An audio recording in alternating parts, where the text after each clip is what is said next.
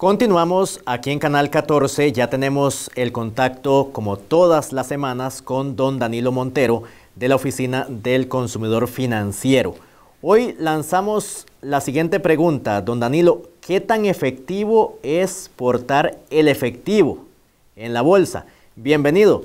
Usted nos cuenta un poco sobre este tema para que los amigos televidentes lo tomen en cuenta y obviamente lo apliquen en sus finanzas. Eh, sí, y no.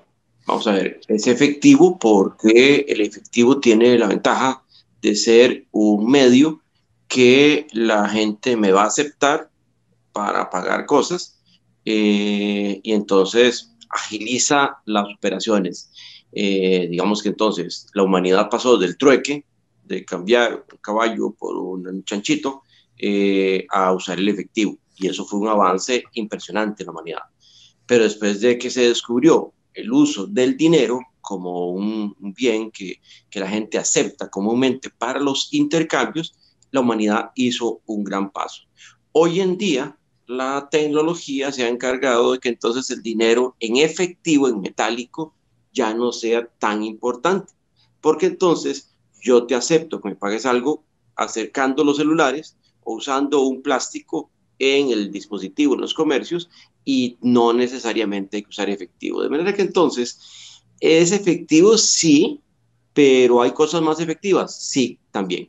Don Danilo, hay muchas personas que tienen un control bastante estricto de sus gastos, utilizando, por ejemplo, una tarjeta de débito. Hay otras personas que no tienen tanta facilidad para llevar ese flujo de salida en cuanto a dinero.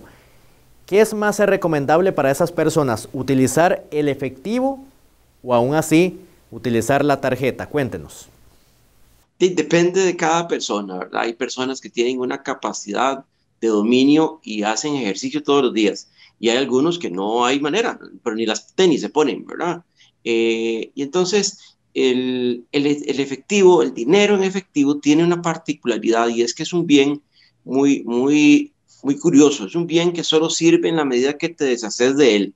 Vos compras un pantalón porque lo vas a usar. Hay otras personas que más bien el no tener el efectivo en la mano significa la posibilidad de no tener que andar o no andarlo gastando. Se sienten más tranquilas y entonces se terapean de no andar efectivo para no usarlo. Entonces es un asunto donde las personas tienen que comenzar a conocerse y si les preocupa que gastan un poco a lo loco, descubrir qué los hace usar más eh, el efectivo o la tarjeta de crédito o de débito. Eh, el efectivo, yo lo que he visto en la oficina del consumidor financiero es que más bien la gente tiende a, dispararlo más rápido. El F en la tarjeta eh, los contiene un poco, pero es un asunto de, de personalidad, es un asunto de cómo tenemos organizadas nuestras ideas ahí en la cabeza. Hay personas también, don Danilo, que suelen guardar su dinero, sus ahorros en la casa. Hemos tocado el tema del ahorro durante varias entregas y esto es importante. El tema de guardar el dinero, de guardar los ahorros en casa, ¿cómo lo analizan ustedes ahí en la oficina del consumidor financiero? Bueno, hay muchas formas de, eh, por ejemplo, hay gente que ahorra su dinero en algún, eh, tiene dos, tres vacas, un par de animales. Eh, esa es una forma de ahorro, eh, porque no lo gastó. Hay gente que tal vez no tiene esa capacidad para, para mantener una, una, operación de gallinas y tener ahí los huevitos y esas gallinas son un, un, ahorro. y prefieren tenerlo bajo del, debajo del colchón. Sí, sobre todo en las zonas rurales. En las zonas rurales la gente tiene una percepción de que eh, el, el, sistema financiero no le garantiza, no le da ninguna tranquilidad, lo cual es equivocado. Ahora me parece que el sistema financiero es la, el mecanismo más, más eficiente para guardar la plata, aunque nos pague muy poco, pero eso, eso, es algo más que lo que, paga, que recibe uno si lo guarda debajo del colchón. Además, debajo del colchón hay unos riesgos tremendos, ¿verdad? Desde que se lo coma la polilla hasta que alguien lo encuentre y se lo camine.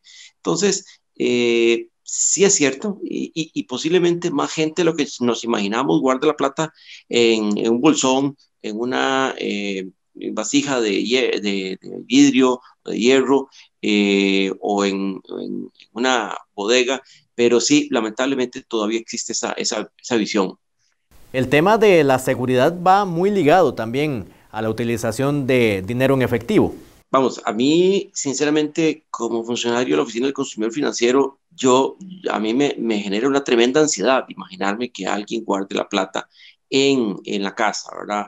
Eh, mucho o poco, puede ser 20 mil pesos, pero por 20 mil pesos se despierta la, la eh, ansiedad de, de, alguien por quitárselo. Ya si lo que tienes un millón, dos millones, tres millones, salvo que sea proveniente de eh, acciones delictivas, una persona honesta definitivamente no debiera tener esa plata en la casa, ¿verdad? Por razones de seguridad, saltos en el camino, cuando lo va a sacar, cuando lo va a depositar, tiene absolutamente ningún sentido existiendo mecanismos tan eficientes y tan seguros para eh, los sistemas de pago, de manera que entonces jamás sería recomendada esa, esa posibilidad, eh, ni como ahorro, ni como forma de guardar, de asegurar, de proteger el patrimonio. Don Danilo, una última para terminar este bloque con usted. Gracias como siempre por acompañarnos. El consejo para las personas que sí o sí les gusta utilizar dinero en efectivo. El efectivo es un medio, el efectivo no es un fin en sí mismo, el efectivo es para facilitarme mis intercambios.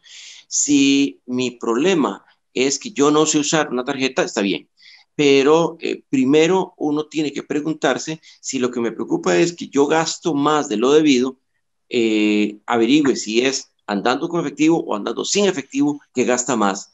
Y entonces, si eh, la preocupación es esa, no es en sí si ando mucho o poco efectivo, es si no estoy pudiendo ahorrar, posiblemente es porque ando demasiado efectivo en la bolsa y muy fácilmente, muy fácilmente lo tiro y entonces ande menos efectivo. Esa sería la solución, pero eh, la, solución no es planteárselo en función del efectivo, es en función del mi, de, de mi interés, de mi objetivo. Excelente, gracias. Don Danilo Montero, director de la Oficina del Consumidor Financiero, que semana tras semana nos acompaña aquí en esta edición de TV Sur Noticias con consejos importantes, con temas muy valiosos para aplicarlos a su economía.